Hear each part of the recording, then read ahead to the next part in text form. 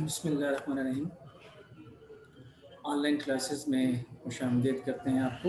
Aptech institute of IT Peshawar की तरफ़ से। आईसीटी सब्जेक्ट है जो हम डिस्कस कर रहे हैं। और इस आईसीटी के अंदर हम जो है चैप्टर नंबर टू पढ़ रहे हैं। चैप्टर नंबर टू हमारे पास जो है वो हमने स्टार्ट किया हुआ है। और इस चैप्टर नंबर टू के अंदर आ, हमने क्वेश्चन नंबर सेवन जो है वो हम डिस्कस कर रहे हैं। आउटपुट डिवाइस किसे कहते हैं? और आउटपुट डिवाइसेस हमारे पास कौन कौन सी होती हैं? ठीक है? तो हमने ये क्वेश्चन कल डिस्कस स्टार्ट किया था और आउटपुट डिवाइसेस के अंदर सो फार हमने अभी तक सिर्फ़ एक डिवाइस जो है उसके बारे में पढ़ा है और वो हमारे पास है मॉनिटर ठीक है? आज हम प्रिंटर के बारे में पढ़ेंगे कि प्रिंटर हमारे पास क्या है और किस तरह काम करता है और हमें किस तरह जो है वो आउटपुट प्रोड्यूस करता है।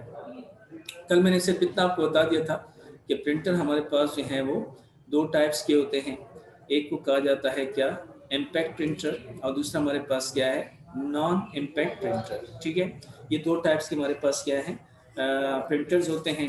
एक को इम्पैक्ट प्रिंटर कहा जाता है और दूसरा हमारे पास क्या है? नॉन इम्पैक्ट प्रिंटर दोनों में क्या डिफरेंस है? इम्पैक्ट प्रिंटर हमारे पास वो प्रिंटर होता है जिसमें जो है जब वो प्रिंटिंग करता है तो उसमें से साउंड जनरेट होती है। आवाज़ जनरेट होती है, आवाज़ आती है। क्यों? क्योंकि वो पेपर को डायरेक्ट टच कर रहा होता है। That is why it is called impact printer non impact printer हमारे पास वो प्रिंटर है जो क्वाइट है। यानी वो आवाज़ उसमें से नहीं आती उसमें से जो है साउंड जनरेट नहीं होती। वजह उसकी रीज़न मैंने आपको बता दिया कि वो क्यों? क्योंकि वो जो है, वो डायरेक्ट पेपर को टच नहीं करता। ठीक है? तो आज हम ये इम्पैक्ट और नॉन इम्पैक्ट प्रिंटर्स के बारे में डिस्कस करेंगे। पेपर में एग्ज़ाम में ये क्वेश्चन भी आ चुका है कि इम्पैक्ट प्रिंटर और नॉन इम्पैक्ट प्रिंटर जो है, इन दोनों में डिफरेंस क्या है? या प्रिंटर्स और इम्पैक्ट प्रिंटर और नॉन इम्पैक्ट प्रिंटर को क्या करें? एक्सप्लेन करें। तो हमारे पास जो है इम्पैक्ट प्रिंटर और नॉन इम्पैक्ट प्रिंटर ये दो हमारे पास टाइप के जो है, वो क्या हैं? प्रिंटर्स हैं और इनका काम क्या होता है?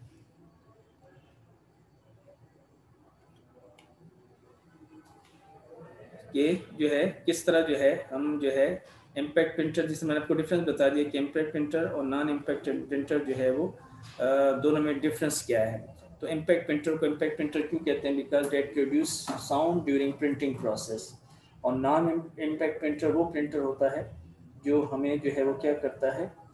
जो जो है, जिसमें से आवाज़ जनरेट नहीं होती, ठीक है? क्योंकि वो डायरेक्ट पेपर को टच नहीं करता। ठीक हो गया? तो हमारे पास जो है दो किस्म के प्रिंटर्स हैं। One is impact printer and one is non impact printer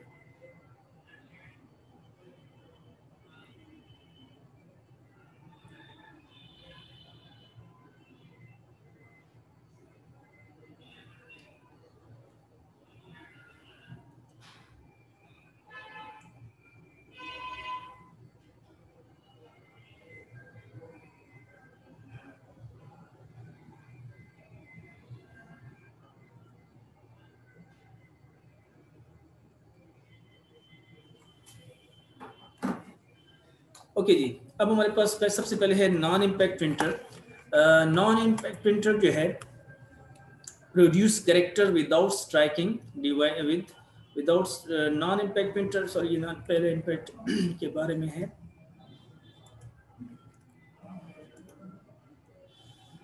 पहले इम्पैक्ट प्रिंटर के बारे में हमने डिस्कस करना है। Impact printer works like a typewriter कहता है इम्पैक्ट प्रिंटर जो वो टाइपराइटर की तरह काम करता है। क्या मतलब इसका? यानी इट प्रिंट्स करेक्टर और images by striking a print hammer और wheel against an ink ribbon देखिए, जो पुराने ज़माने के जो टाइपराइटर थे तो टाइपराइटर के अंदर भी बेसिकली क्या होता है रिबन लगा होता है और उसकी कीज़ हार्ड होती हैं, सख्त होती हैं। ज़ोर से आप उसको प्रेस करेंगे तो रिबन के आगे पेज लगा होता है और इस पेज पे फिर जो है वो प्रिंटिंग की जाती है। तो इम्पैक्ट प्रिंटर जो है टाइपराइटर की तरह काम करता है। अब टाइपराइटर में देखिए क्या होता है? एक एक करेक्टर को प्रिंट किया जाता है। प्रिंटर करेक्टर प्रिंट होता है ना? फॉर एग्ज़ाम्पल आपने ए बी सी लिखना है, या आपने लफ्स कंप्यूटर टाइप करना है तो कंप्यूटर एक साथ जो है वो आप सी अलग टाइप करेंगे, फिर O M P U T R एक एक करेक्टर आप टाइप करेंगे। ठीक है? जबकि हमारे पास जो है प्रिंटर जो है, ये जो इम्पैक्ट प्रिंटर है, ये भी इसी तरह काम करता है। यानी एक एक करेक्टर बाय करेक्टर जो है, वो हमारे डॉक्यूमेंट को क्या करता है प्रिंट करता है। ठीक हो गया? अब इसमें इम्पैक्ट प्रिंटर के अंदर हमारे पास दो जो है इंपॉर्टेंट प्रिंटर्स हैं। एक को डॉट मैट्रिक्स प्रिंटर कहा जाता है और एक डेजी व्हील प्रिंटर्स हैं।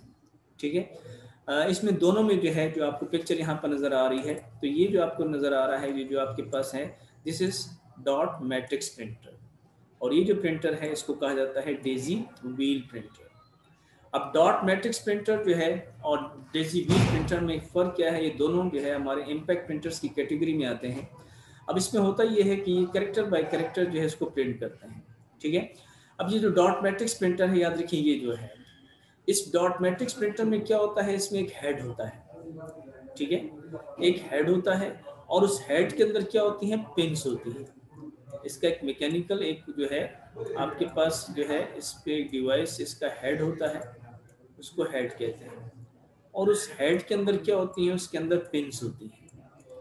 हेड होता है और हेड के अंदर हमारे पास क्या है? पिंस होती हैं। ठीक है? अब वो पिंस वेरी करती हैं, याद रखिए। ठीक है?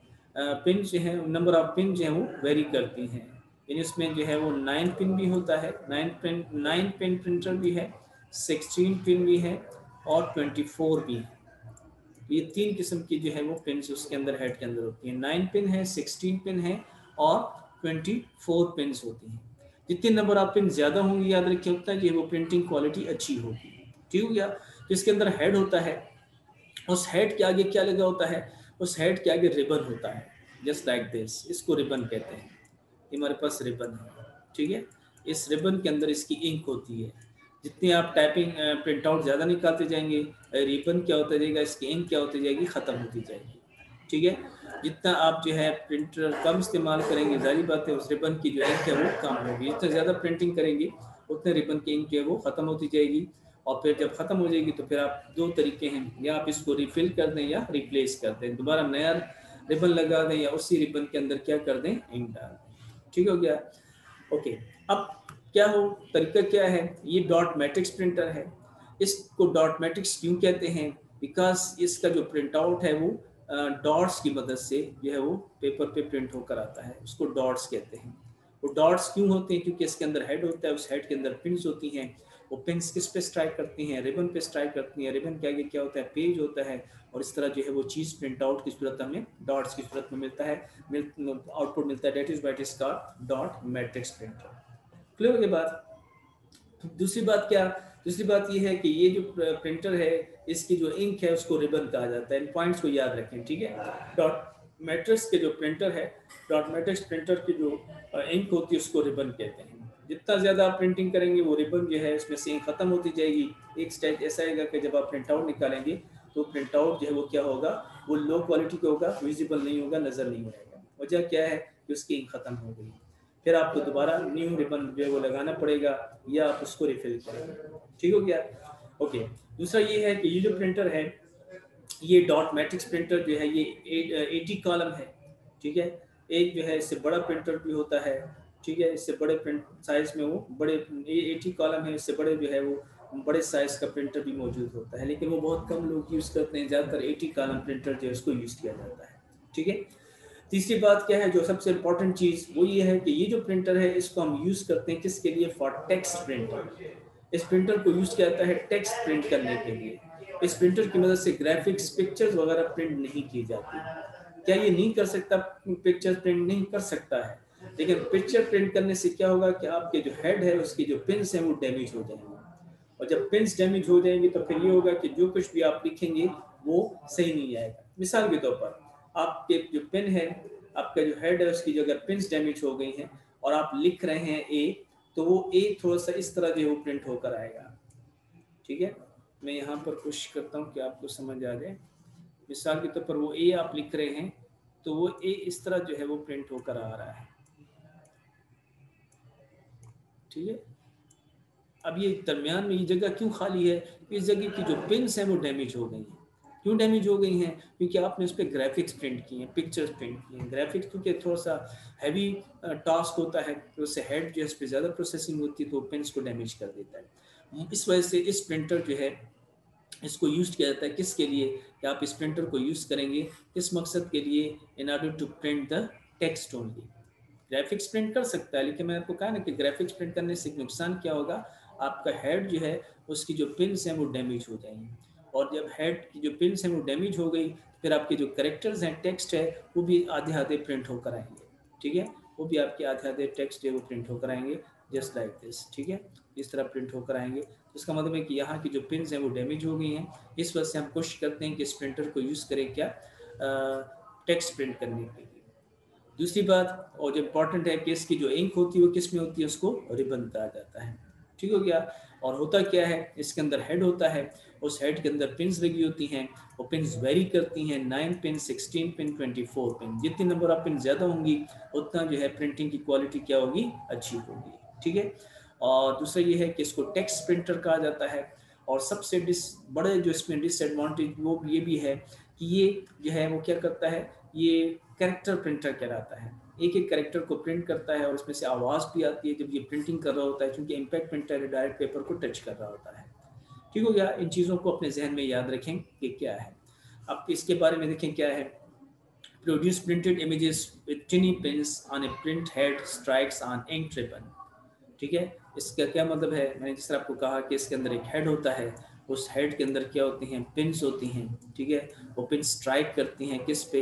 रिबन पे जिसके अंदर इंक होती है, उसके आगे पेपर होता है और पेज पे वो चीज़ जो है हमें पिंस डॉट्स की मदद से प्रिंट होकर आता है that is is dot matrix printer when the ribbon passes against the paper, it checks, it create dots that from characters and graphics. जो भी वो रिबन प्रेस करता है अगेंस्ट द पेपर यानी उसके आगे पेपर होता है, उससे आपके पास जो है वो डॉट्स की सूरत में आपको करेक्टर्स और ग्राफिक्स प्रिंट करके बताता है। ठीक है? डॉट मैट्रिक्स प्रिंटर जो है, वो नाइन और ट्वेंटी फोर पिन के दरमियान होता है। नाइन पिन भी है सिक्सटीन पिन भी है और ट्वेंटी फोर पिन भी है। ठीक है?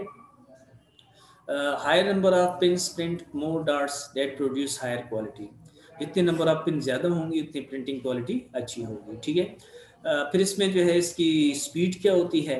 तो जो चीपर हैं, यानी जो सस्ते जो डॉट मैट्रिक्स प्रिंटर हैं, वो क्या करते हैं? वो 100 to 150 fifty D P I है 100 टू 150 डॉट्स पर इंच उनकी क्या है? प्रिंट क्वालिटी है, ठीक है? और उनकी स्पीड क्या होती है? 200 टू 300 कैरेक्टर्स पर मिनट 200 से 300 कैरेक्टर तक वो एक मिनट के अंदर प्रिंट कर सकते हैं और उनकी क्वालिटी जो है वो 100 टू 150 डीपीआई है।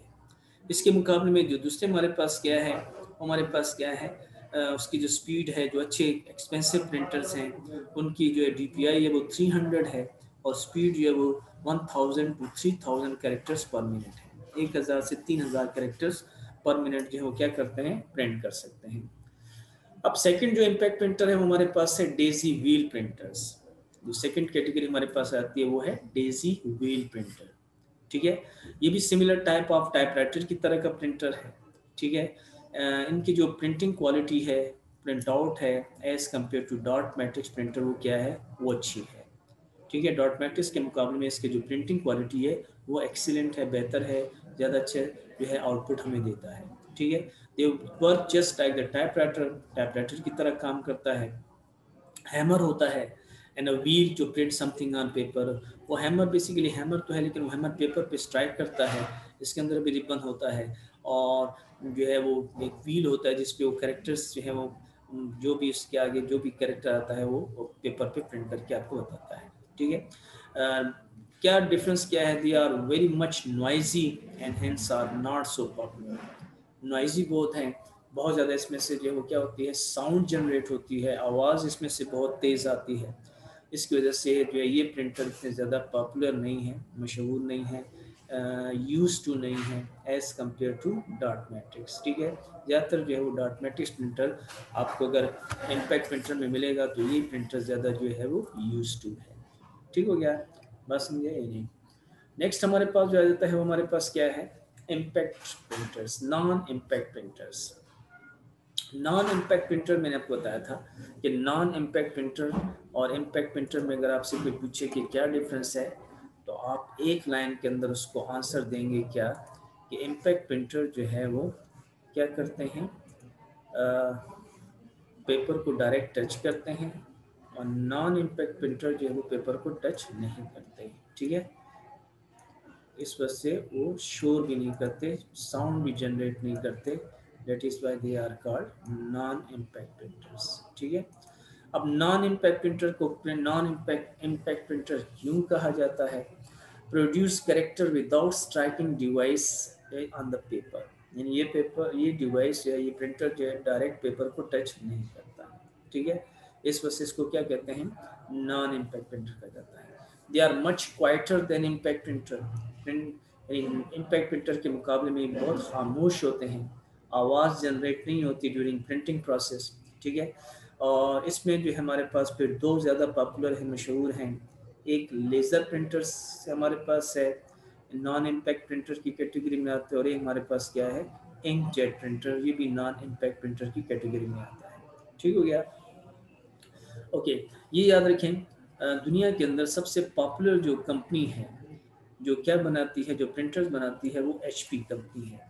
तो एचपी कंपनी का जहाँ पर भी आपके पास नाम आ जाए H P stand for Hewlett Packard ठीक है? तो एचपी कंपनी जो है, हमारे पास क्या करती है? वो प्रिंटर्स बनाती है। तो एचपी कंपनी हमारे पास जो है, वो क्या है? एचपी तो एचपी कंपनी हमारे पास जो है, वो Hewlett Packard H small letter में लिखा जाता है। हेवलेट पैकर्ड ये कंपनी का नाम है, जो क्या बनाते हैं, दुनिया के अंदर बहुत ज़्यादा पॉपुलर है, मशहूर है, किस वजह से? प्रिंटर्स बनाने की वजह से। एच का नाम कहीं पर आजकल तो ये वो भी बना रहे हैं लैपटॉप कंप्यूटर भी बना रहे हैं बट देयर ओरिजिन स्टार्ट इनका क्या था वो? प्रिंटर्स था। तो प्रिंटर्स जो है, इन्होंने इससे स्टार्ट लिया था। ये प्रिंटर्स जो है, वो बनाते थे और इस वक्त भी बना रहे हैं और दुनिया के अंदर सबसे पॉपुलर मशहूर जो है, वो एचपी कंपनी के हैं। ओके अब ये तीन चीज़ें याद रखें। क्या डॉट मैट्रिक्स प्रिंटर की इंक किसमें होती है? ठीक है? तो डॉट मैट्रिक्स प्रिंटर की जो इंक है, उसको रिबन कहा जाता है। ठीक है? मैं बता रहा हूँ, अपनी याद रखें, ठीक है? डॉट मैट्रिक्स प्रिंटर की जो इंक है, डॉट मैट्रिक्स, उसको रिबन कहा जाता है। ठीक हो गया? डॉट मैट्रिक्स प्रिंटर की जो इंक है, उसको हम क्या कहते हैं? उसको रिबन कहते हैं। ठीक हो गया? दूसरा हमारे पास क्या है? जो नॉन इम्पैक्ट प्रिंटर में लेज़र प्रिंटर है लेज़र प्रिंटर और फिर इंकजेट प्रिंटर्स ठीक है? पहले इंकजेट प्रिंटर बता देता हूँ इंकजेट प्रिंटर जो है, इसकी जो इंक है, उसको कहते हैं क्या? कॉर्ट्रिज इंकजेट प्रिंटर जो है इंक को क्या कहते हैं? कॉर्ट्रिज कहते हैं।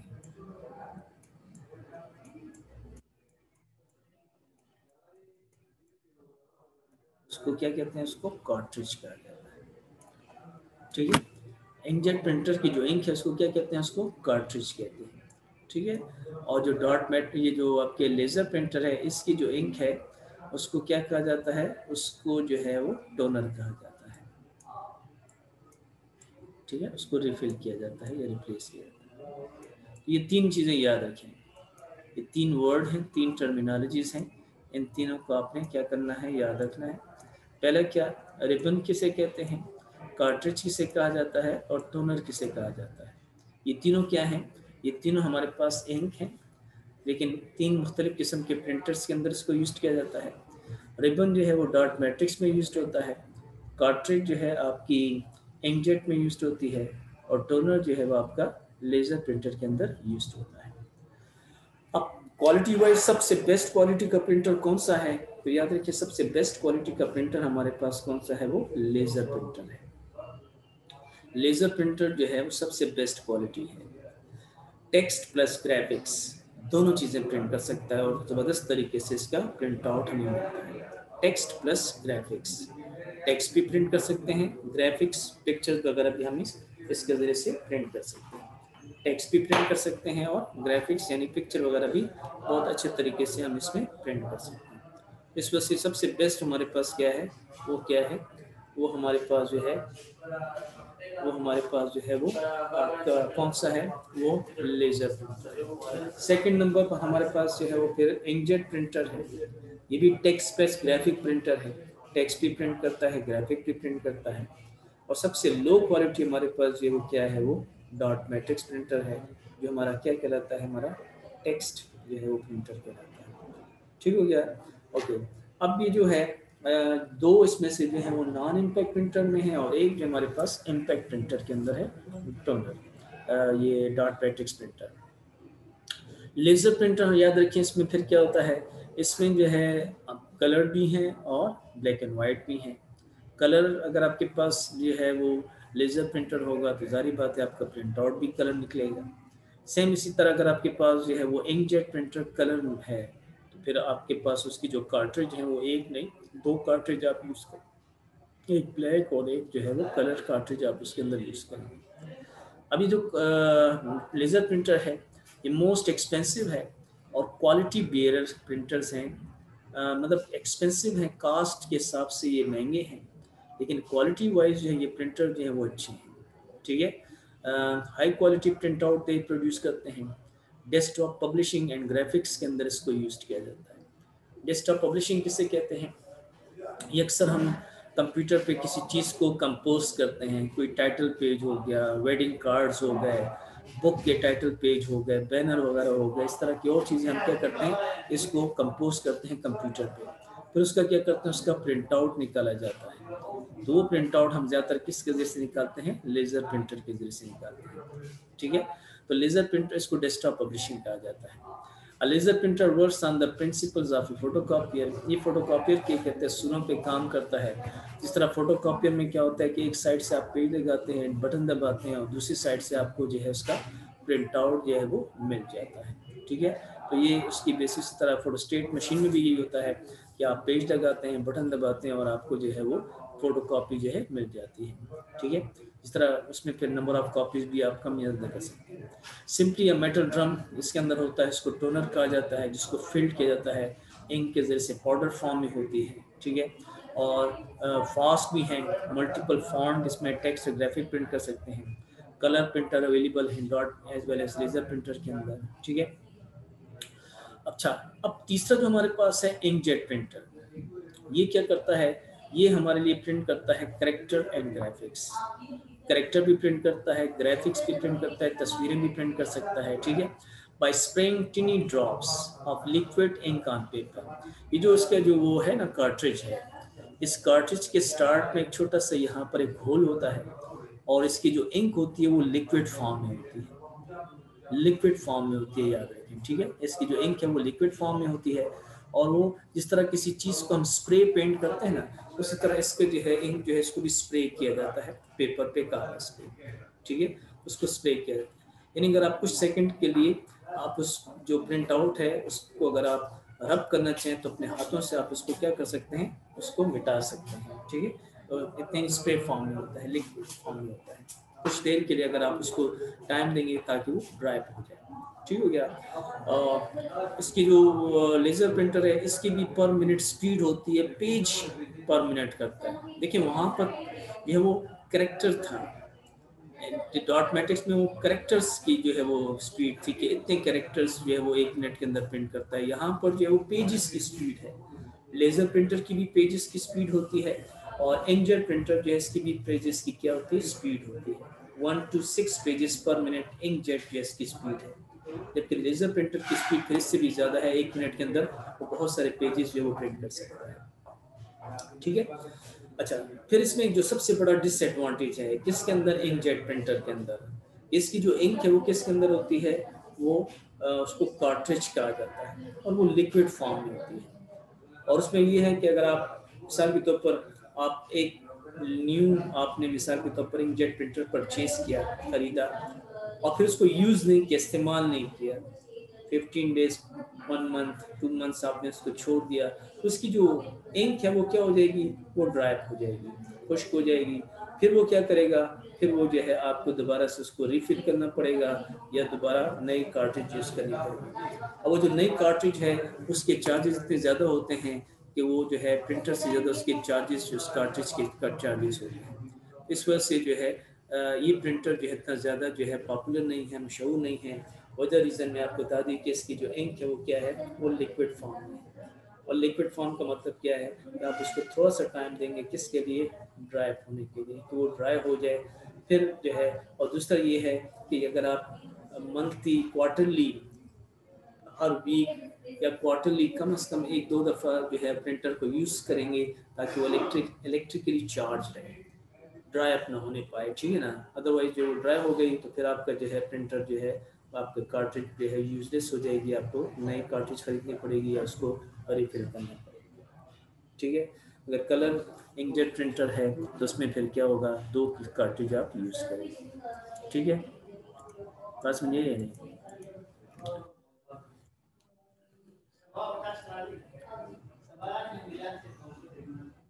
नेक्स्ट हमारे पास जो है वो क्या है? प्लॉटर्स है। तो प्लॉटर्स हमारे पास क्या है? कोशिश करेंगे कि ये टॉपिक आज हम कंप्लीट कर लें। बस एक मेरे ख्याल में लास्ट स्लाइड है। प्लॉटर हमारे पास एक आउटपुट डिवाइस है, जो क्या करता है, ये भी हमारे लिए हार्ड कॉपी आउटपुट प्रोड्यूस करता है। It also produce hard copy output